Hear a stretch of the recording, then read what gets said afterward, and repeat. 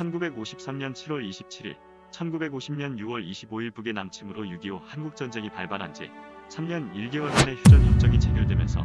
전쟁은 멈췄지만 여전히 대한민국 휴전선 위에는 북한을 비롯한 중국과 소련이 건재했고 이에 우리나라 이승만 정부는 전쟁 중에도 휴전을 거부하며 끝까지 공산당 세력들을 한반도에서 몰아낼 것을 주장했으며 휴전협정에 관한 회의가 한창 진행 중인 1953년 6월 18일 반공포로들을 미국을 비롯한 유엔과는 협의도 없이 일방적으로 석방하는 무리수까지 두어가면서 한미 상호방위 조약 체결과 경제원조 제공 등 네 가지 조건을 전제로 휴전협정에 동의하겠다는 이승만 정부가 미국에게 내건 승부수는 1953년 7월 27일 휴전협정이 체결된 지 일주일 만인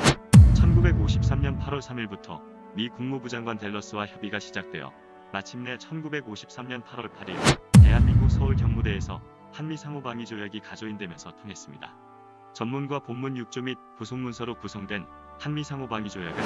1953년 10월 1일 미국 워싱턴에서 정식 조인되었고 이로 인해 대한민국은 지금까지도 세계 최강국 지위를 유지하고 있는 미국과 동맹을 맺으며 우리나라의 안보뿐만 아니라 비약적인 경제 발전의 토대를 마련했습니다. 1950년 5월 30일 제1회 총선에서 압도적인 여소야대 국회 구성으로 위기에 몰렸던 이승만 정부는 6.25 한국전쟁 중에 공비소탕을 명목으로 계엄령을 선포하고 국회의원을 긴급 체포, 긴급 구속한 부산정치파동 등 일련의 사건을 거치며 대한민국 최초의 개헌이자 대한민국 헌법 유린의 시발점인 발췌개헌과 관제선거 등 각종 정치 공작을 통해 결국 재선에 성공했고 1953년 7월 27일 휴전협정 체결과 1953년 8월 8일 한미상호 방위조약 체결 등으로 전쟁의 상처 속에 불안하고 피폐해진 민심을 수습하기 시작했습니다.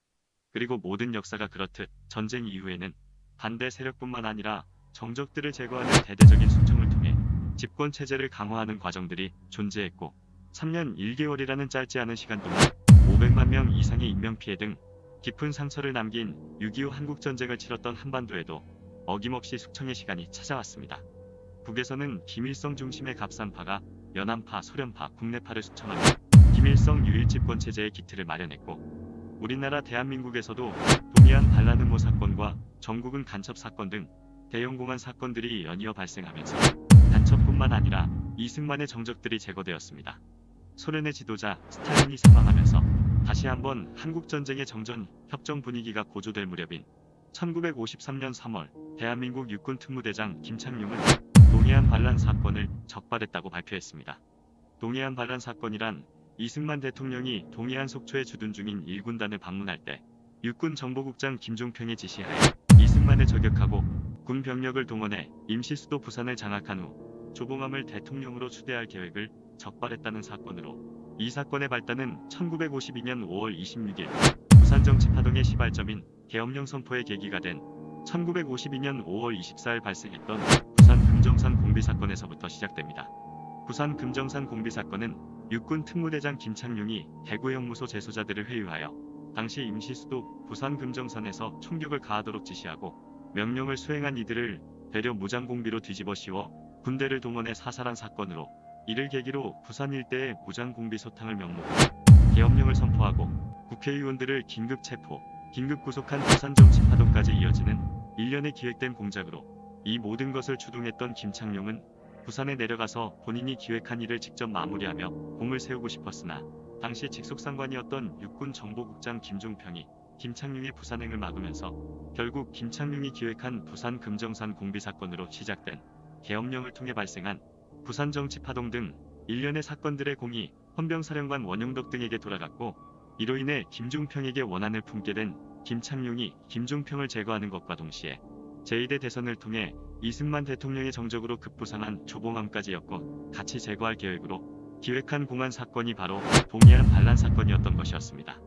이는 비록 군법회의에서 여러 증언들로 인해 김창룡이 조작한 것으로 밝혀지며 이승만의 정적인 조봉암까지 엮어내진 못했으나 김창룡이 원했던 김종평을 제거하는 것과 동시에 본인이 육군 준장으로 승진하며 절반은 성공한 공작이 되었고 장군이 된 김창룡은 이승만 대통령에게 총애를 받으며 더욱 직접적으로 정치에 개입하기 시작했습니다. 1953년 8월 31일 김창룡은 또 하나의 공안 사건인 전국은 간첩 사건을 발표했습니다. 전국은 간첩 사건은 광복 이후 국제통신사, 국방, 해양, 연합, 동양신문 등 주요 언론기관의 사장 및 임원을 역임하고 육군 본부기관지 철군의 판권을 인수하여 국방신문을 발간하면서 이를 통해 군부 고위층과 친분을 쌓고 미국의 군사원조 등 군사 기밀들을 누설했으며 6.25 한국전쟁 중에도 유엔군 기자클럽에 소속되어 우리 국군과 유엔군의 군사작전 등 군사 기밀들을 북에 보고한 혐의로 정국은을 체포한 사건으로 김창룡은 단순히 정국은을 체포한 것에 그치지 않고 정국은이 이범석이 조직한 족청 단원이었다는 사실을 고려로 이승만 대통령이 견제했던 이범석을 비롯한 족청 계열 세력들을 숙청했습니다.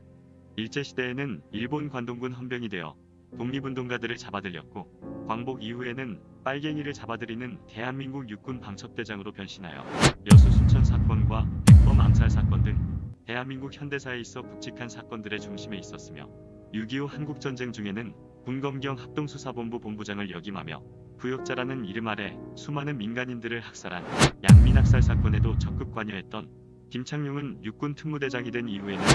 부산 금정산 공비 사건, 전국은 간첩 사건 등 자신의 정적뿐만 아니라 이승만 대통령의 정적까지 함께 엮어내는 솜씨로 이승만 대통령의 총애를 받으며 결국 일제 헌병에서부터 시작해 대한민국 육군 장군의 자리까지 오르게 된 것입니다.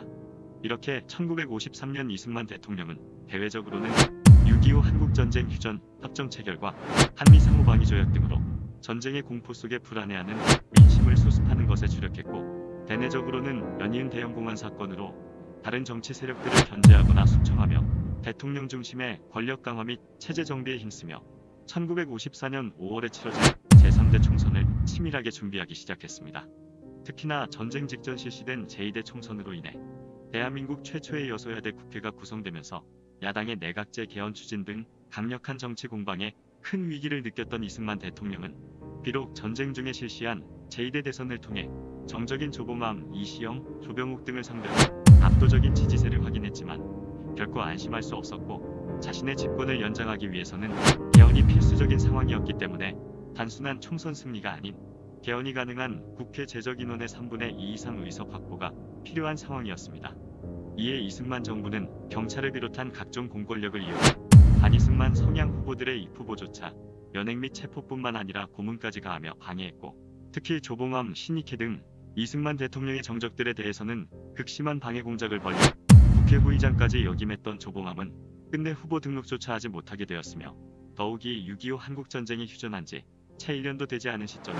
반공과 국가 재건을 내세운 이승만 정부와 자유당을 지지하는 국민들이 많았기 때문에 1954년 5월 20일 투표율 91.1%를 기록한 제3대 총선을 통해 총 203석 중 자유당이 114석을 차지하며 개헌선인 136석에는 못 미쳤으나 과반수 이상의 의석을 확보했고 제2대 총선에서 가장 많은 의석을 차지했던 무소속은 대한민국 주목의 상징 김두한 등 총 67석을 차지했으며 대표적인 야당인 민주국민당은 15석을 차지하며 제2대 대선에 이어 참패를 면치 못했고 대한국민당과 대한독립촉성국민회가 각각 3석, 재원국회의원 동지회가 1석을 차지했습니다.